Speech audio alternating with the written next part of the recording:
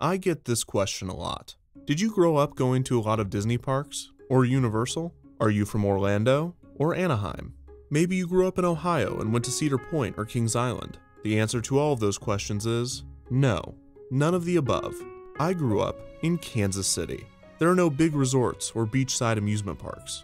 To be honest, nothing is in Kansas. There's a good amount of wheat, prairie, livestock, a surprising lack of buffalo despite the song. In fact, I've never even seen one, and if I did, it would technically be a bison. There's cornfields and windmills and weather vanes and an occasional tornado. You've seen the first 20 minutes of The Wizard of Oz. It's basically that. While my few vacations to Disneyland and Walt Disney World were what initially sparked my interest in theme parks, there was something closer to home that kept me interested in the medium between my trips to Disney. It was a small regional park called Worlds of Fun. And while in this season of Defunctland we have gone to Florida, California, Ohio, Illinois, the UK, Paris, Japan, and much more, I wanted to take our travels to today's destination for personal reasons. Because there is no place like home even if all we have there is Worlds of Fun. And even if we don't technically have that, since Worlds of Fun is on the Missouri side of Kansas City, not the Kansas side, nothing is in Kansas.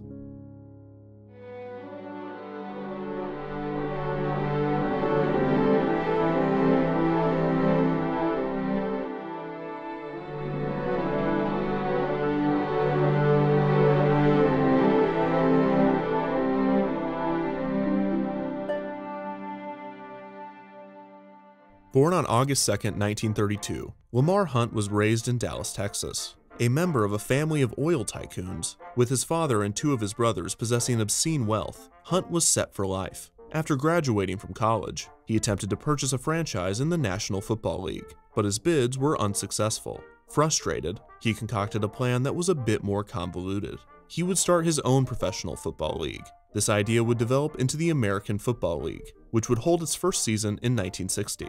This allowed Hunt to get exactly what he wanted, a team under his ownership, the Dallas Texans. His team would become one of the most successful teams in the league. However, the same year that the AFL held its first games, the NFL would expand with the addition of more teams, including the new Dallas Cowboys. It was immediately clear that both the Cowboys and the Texans could not be profitable so close to one another, and Hunt made the decision to relocate his team to another city. He eventually decided on Kansas City, renaming the Dallas Texans to the Kansas City Chiefs. Hunt would continue to be involved in the city over the next decade, helping fuel its population and economic growth in the late 60s. Around this time is when Hunt and his business partner, Jack Steadman, first conceived plans for a new entertainment project in the Midwestern city. It was a brand new theme park, to be named Worlds of Fun. Construction on Worlds of Fun began in 1971 and cost an estimated $20.5 million to build. Located just north of downtown Kansas City, the new park was not far from the city's already existing amusement park, Fairyland Park, which had opened in 1923. The park boasted a few impressive rides and coasters, but Hunt and Steadman seemed confident that their new park would easily best the aging Fairyland. Worlds of Fun was designed by famous park designer and Kansas native Randall Duell, the man behind many amusement parks, including Kings Island and Astroworld. Worlds of Fun was themed after Jules Verne's Around the World in 80 Days, and the park was to be split into five main areas Africa, Americana, Europa, Scandinavia, and the Orient. Worlds of Fun was to have a variety of carnival rides and a few coasters. One of these thrill rides, Schussboomer, was a wild mouse coaster located in the Scandinavia section of the park. This was one of famed coaster designer Anton Schwarzkopf's Wildcat models, which Worlds of Fun bought used. There was also the Zambezi Zinger, located in the Africa section of the park. This coaster, another Schwarzkopf creation, was an extended jumbo jet model with an electric spiral lift hill. These two rides, along with a small children's coaster in the Europa section of the park, were the only coasters that were in the initial plans for Worlds of Fun. But they, along with the park's other attractions and a concerted effort toward theming, were expected to draw crowds. Hunt was so confident with the park's future success that he drafted plans for a larger entertainment complex, with hotels, restaurants, and other entertainment options surrounding the park. After four years of planning and two years of construction, Worlds of Fun was ready to open its gates to its first season of guests. Worlds of Fun opened on May 26, 1973, and the park was an immediate success, with large crowds attending its opening and ensuing inaugural season. The park blew its competition out of the water. Less than five years after Worlds of Fun's opening, Fairyland Park would close down. While management would cite storm damage as the reason for the park's closure, it was clear that the opening of Worlds of Fun had a heavy financial toll for the over 50 year old park. Towards the end of its run, Fairyland would use the not so subtle slogan, where fun is still affordable. Fairyland's closure was great news for Worlds of Fun, and Hunt's Park would continue to expand and add new attractions. Unfortunately, the 1973 oil crisis put a halt on Hunt's plans for an entertainment resort, most likely due to both the ensuing economic slump and his wealth's close relation to the oil industry. In 1976, three years after Worlds of Fun's opening, a new coaster would be constructed in the Americana section of the park. To coincide with America's bicentennial, an Arrow Development corkscrew coaster named Screamroller debuted. Arrow Development, a California-based amusement park ride designer and manufacturer, had been dropped by the Walt Disney Company five years prior, immediately after assisting with the construction of Walt Disney World's Magic Kingdom. Its founder sold the company the next year, with a few staying on in consulting roles, as the company shifted its focus away from Disneyland and Walt Disney World and began focusing solely on regional amusement parks. The steel coasters that Arrow produced were a hit among park guests, and Worlds of Fun Screamroller was no exception. However, the coaster was nothing special, as Arrow had manufactured the ride type many times, placing similar, if not identical coasters in various amusement parks throughout the world. After the success of Screamroller, Worlds of Fun reached back out to Arrow in hopes that they would build another coaster. But this time, the ride that Arrow would deliver would be one of a kind. I thought I'd seen it all, but this, this was the big one. It didn't seem like any part of Kansas City I knew. It seemed strange. Thousands had been lured here before me in breathless wonder. You can't explain that feeling that draws you to the unknown. Unknown, but getting closer with each nervous step. Orient Express opened on April 4th, 1980, to the delight of both park guests and coaster enthusiasts. The coaster was located in the Orient section of the park, which at the time only had a few flat rides, which were actually just vehicles for bad puns, hence the bamboo zlur. There was also a dolphin show in this area, which really proves how mistreated those animals were. Having a dolphin show in Kansas City is like having a bird show underground. When entering the Orient section, guests would walk through a torii gate. They would then make their way toward the back of the area, finding the large Orient Express and passing under its entrance. The giant red coaster was intimidating, and the queue featured a rare chicken exit, where guests could duck out of line if they became too nervous to ride. After boarding the train, guests would exit the loading station, go through a short tunnel, and climb the first hill. A short bank to the right would lead into the ride's biggest drop, plunging guests 115 feet toward the ground. Another hill and bank to the left would send guests into the ride's first inversion. After this, guests would turn right back around and enter the ride's second interlocking loop. The train would then enter an element never before seen in a roller coaster. The Orient Express was the first attraction to feature a batwing element, then dubbed the kamikaze curve and sometimes referred to as a boomerang. On the Orient Express, the train turned sharply to the left, briefly suspending guests upside down before leveling out, dropping, and entering the reverse of the previous element, sending the train back in the opposite direction than the one it entered. After the kamikaze curve, the train would bank sharply to the left, then speed over a small pond, doing a 360 degree bank turn before returning to the station.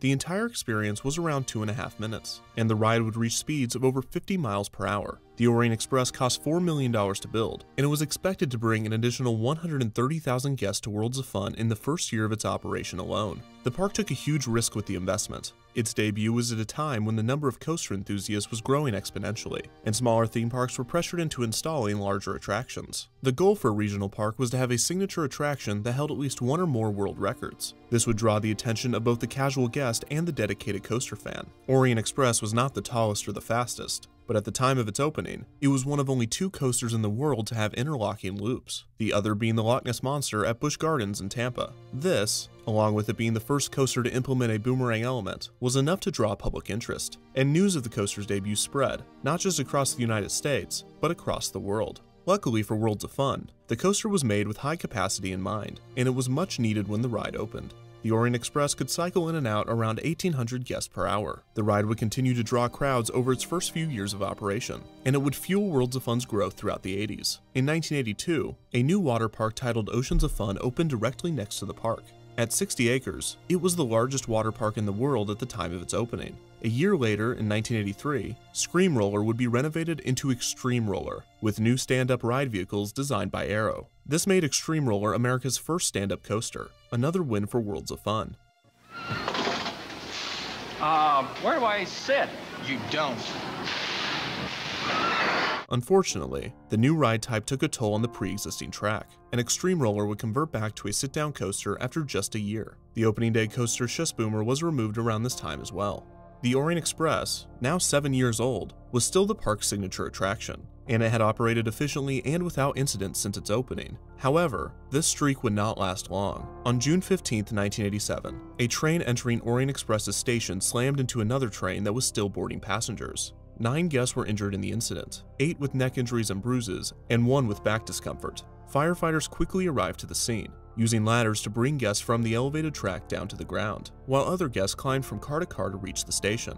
The exact cause of the accident was not revealed, but it is suspected that the high capacity procedures were to blame. Employees were known to override brakes and manually push trains in and out of the station on busy days. A year later in 1988, Extreme Roller was removed. While its closure was disappointing to many fans, Worlds of Fun would debut a new coaster in 1989 that would make them forget all about it. The Timberwolf was a wooden beast. It was the park's longest coaster, and coaster enthusiasts celebrated its debut.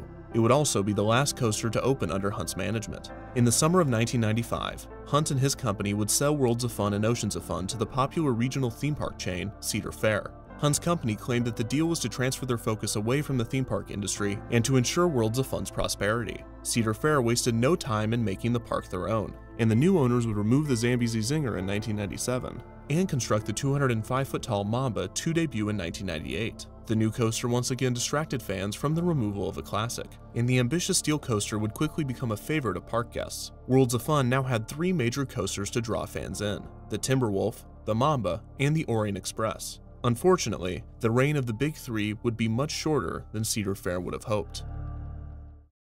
On July 17, 1999, the two rear cars of a train on the Orient Express derailed as it slowed into the station. The passengers in those cars were left dangling 35 feet in the air. The rescue took two hours, as guests were carefully removed from their seats and lowered to the ground. Rumors quickly spread that two people jumped from the dangling cars in fear, but this was never confirmed by authorities or park officials. In total, 13 guests were taken to the hospital, but all were released without serious injuries. Inspections after the accident showed internal fatigue on a metal support. The unusual fracture was unlikely to be spotted during inspections, as it wasn't noticeable from the outside. Even if it had been seen, there was no guarantee that a thorough inspection would have taken place. At the time, Missouri was one of 12 U.S. states that had no inspection regulations for permanent amusement park attractions. Despite the incident, the Orient Express would continue to operate into the 2000s, but the over 20 year old coaster was showing its age. As with many Arrow steel coasters, the ride experience became more rough in its later years, and the recent incident had clouded the reputation of the once groundbreaking coaster.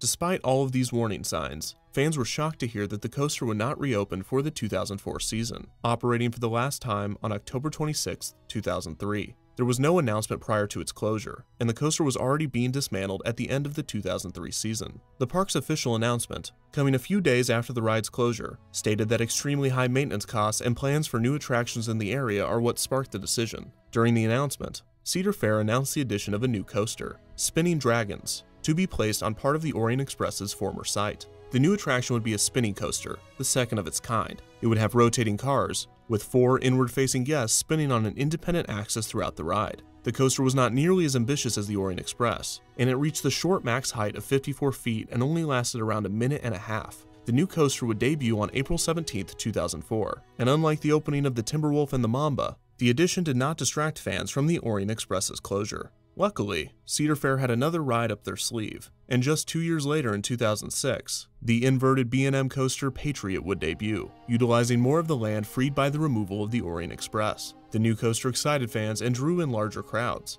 While dedicated fans were still upset at the Orient Express's removal, the investment in the $14 million coaster was widely celebrated. Three years later in 2009, a new wooden coaster, the Prowler, would debut, receiving praise from enthusiasts and positive reactions from park guests. Sadly, this was the last new coaster that Worlds of Fun has introduced. Now in 2018, nearly a decade after the opening of the Prowler, Worlds of Fun has stagnated, retaining only six major coasters Prowler, Timberwolf, Mamba, Spinning Dragons, Patriot, and Boomerang, a Vekoma Boomerang coaster that had been added in 2000. Worlds of Fun is not Cedar Fair's first priority, nor should it be, but having been 9 years without a new coaster, local park goers can't help but feel ignored. It is a far cry from the years following the debut of the Orient Express, and with a lack of variety and no foreseeable additions, fans are becoming more and more nostalgic for the fallen coaster. Worlds of Fun has not forgotten about the former ride either, and on top of continuing to sell merchandise related to the ride, there are a few remnants worth mentioning. One is the use of the Orient Express's chicken exit sign in the queue for the Timberwolf, and another is the utilization of the Orient Express's former queue and ride tunnel, which Worlds of Fun now uses as a Halloween haunted house. As we continue our travels on this exciting season of Defunctland, it's important for all of us to recognize how special our common interest in theme parks and themed entertainment is, especially considering how different our places of origin. For many, you grew up near Walt Disney World and Universal Studios, or maybe Disneyland. Some of you grew up near Busch Gardens Williamsburg, or Kings Island, or Alton Towers. For the unlucky few among us, your home park was Nara Dreamland, or Astroworld. And for those like me, it was Worlds of Fun. No matter your home park, even the underwhelming ones, there is some unique art to be found there, or at the very least, some interesting stories. And while there might be nothing in Kansas, it is true that there is no place like home. Now, how do I program these things to Epcot?